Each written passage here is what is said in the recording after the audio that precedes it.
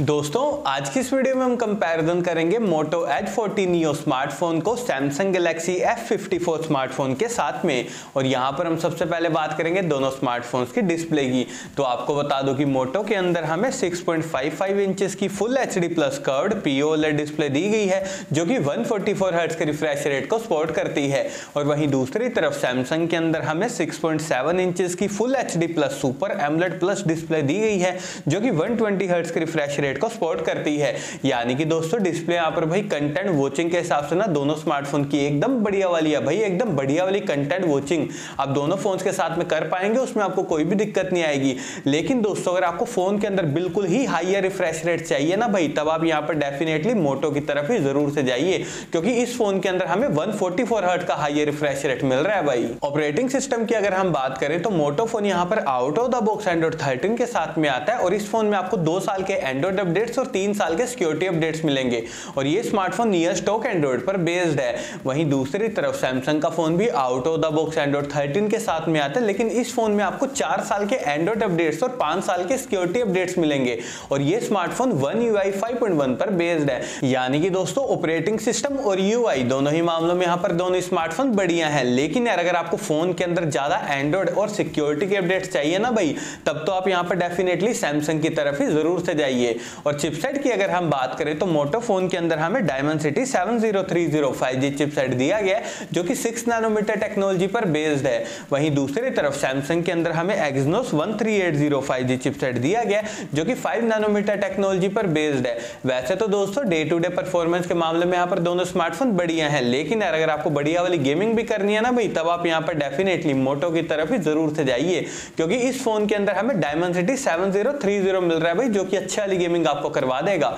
और दोस्तों, अगर आप इन दोनों फोन्स में से किसी वाले को बाय करना चाहते हैं ना तो लिंक मैंने नीचे डिस्क्रिप्शन में दे दिया है। वहाँ से जाकर आप इन्हें बाय कर सकते हैं। और अब बारी आती है भाई बैक कैमरा सेटअप की। तो मोटो फ़ोन के बैक में ड्यूल कैमरा का सेटअप दिया गया वहीं दूसरी तरफ़ सैमसंग के बैक में हमें ट्रिपल कैमरा का सेटअप देखने को मिल जाता है। और सबसे पहले हम बात करेंगे मोटो की। तो इस फ़ोन का मेन कैमरा पचास मेगा का ultra wide plus macro plus depth camera है तेरह मेगा का। वहीं दूसरी तरफ़ सैमसंग फ़ोन का मेन कैमरा एक सौ का अल्ट्रा वाइड कैमरा है आठ मेगापिक्सल का और जो मैक्रो कैमरा वो है दो मेगापिक्सल का। और आपको बता दो दोस्तों, दोनों फ़ोन का जो बैक कैमरा सेटअप है ना भाई, एकदम बढ़िया वाली फ़ोटोज़ आपकी क्लिक कर देगा। भाई कैमरा सैंपल्स आप दोनों फ़ोन के स्क्रीन के ऊपर देख ही पा रहे हैं कि कितनी बढ़िया तरीके से दोनों फ़ोन के कैमरा सेटअप ने डिटेलिंग्स को कैप्चर किया है। और दोस्तों, अगर हम बात करें वीडियो स्टेबलाइजेशन की तो दोनों फ़ोन यहाँ पर ओ प्लस ई टेक्नोलॉजी को भी सपोर्ट करते हैं। फ्रंट कैमरा की अगर हम बात करें तो दोनों फ़ोन के फ्रंट में हमें बत्तीस मेगापिक्सल का सेल्फी कैमरा दिया गया है। भाई सेल्फी लवर्स के हिसाब से यहाँ पर दोनों स्मार्टफ़ोन बढ़िया है। भाई, अच्छी वाली सेल्फी फ़ोटो आप दोनों फ़ोन के फ्रंट कैमरा से भी क्लिक कर पाएँगे, उसमें भी आपको कोई दिक्कत नहीं आएगी। और मैक्सिमम वीडियो रिकॉर्डिंग आप दोनों फ़ोन के फ्रंट और बैक कैमरा से फोर तक एट थर्टी एफ़ पर कर सकते हैं। बैटरी डिपार्टमेंट की अगर हम बात करें तो मोटो फ़ोन के अंदर हमें पाँच हज़ार की बैटरी दी गई है, जो कि अड़सठ वोट की फास्ट चार्जिंग को सपोर्ट करती है। वहीं दूसरी तरफ़ सैमसंग के अंदर हमें छह हज़ार की बहुत बड़ी बैटरी दी गई है, जो कि सिर्फ़ पच्चीस वोट की फास्ट चार्जिंग को सपोर्ट करती है। डिसीज़न दोस्तों, आपको लेना है कि आपको बड़ी बैटरी वाला स्मार्टफ़ोन लेना है या फिर ज़्यादा फास्ट चार्जिंग वाला। और नेटवर्क कनेक्टिविटी की अगर हम बात करें तो दोनों फ़ोन यहाँ पर ट्रोली फाइव कनेक्टिविटी के साथ में आते हैं, साथ ही दोनों फ़ोन एनएफसी को भी सपोर्ट करते हैं। लेकिन यार, अगर हम बात करें थ्री पॉइंट mm जैक की तो हमें दोनों फ़ोन में से किसी में भी नहीं दिया गया।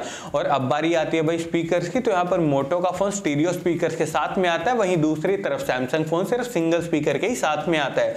और सिक्योरिटी के लिए मैं मोटो फ़ोन के अंदर under display fingerprint sensor plus face unlock दिया गया है। वहीं दूसरी तरफ़ सैमसंग के अंदर हमें side mounted fingerprint sensor plus face unlock देखने को मिल जाता है। और अब लास्ट में हम बात करते हैं दोनों फ़ोन की प्राइसिंग की। तो आपको बता दो कि मोटो फ़ोन के आठ प्लस एक जीबी वेरियंट की प्राइसिंग है, चौबीस हज़ार पे। वहीं दूसरी तरफ़ सैमसंग फ़ोन के आठ प्लस दो सौ छप्पन जीबी वेरियंट की प्राइसिंग है, तीस हज़ार पे। और अगर मैं यहाँ पर अपना पॉइंट ऑफ़ दू ना भी इन दोनों स्मार्टफ़ोन के लिए तो देखिए दोस्तों, अगर आपको वो फ़ोन चाहिए जिसमें चार्जर इन द बॉक्स मिल रहा हो और साथ ही कर्व डिस्प्ले भी चाहिए तो आप यहाँ पर डेफिनेटली मोटो की तरफ़ ही ज़रूर से जाइए, लेकिन वहीं दूसरी तरफ़ दोस्तों, अगर आपको सैमसंग की ब्रांड वैल्यू के हिसाब से एकदम बढ़िया फ़ोन चाहिए, तब आप यहाँ पर डेफिनेटली सैमसंग की तरफ़ ही ज़रूर से जाइए। तो बस दोस्तों, यही था मेरे कुछ ऑनेस्ट ओपिनियंस इन दोनों स्मार्टफोन्स के लिए।